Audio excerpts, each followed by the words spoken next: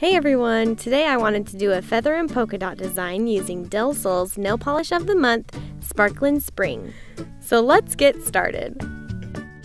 Start with a base coat to protect your nail. Now do several coats of Sparklin' Spring nail polish by Del Sol and let that dry.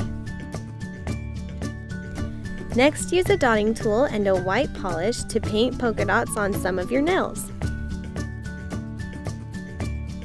Then on your other nails, use a white striper to paint a feather diagonally across your nail.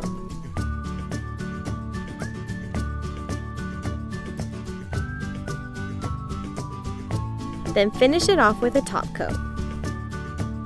Here's what it looks like inside without sun. And here's what it looks like outside with sun.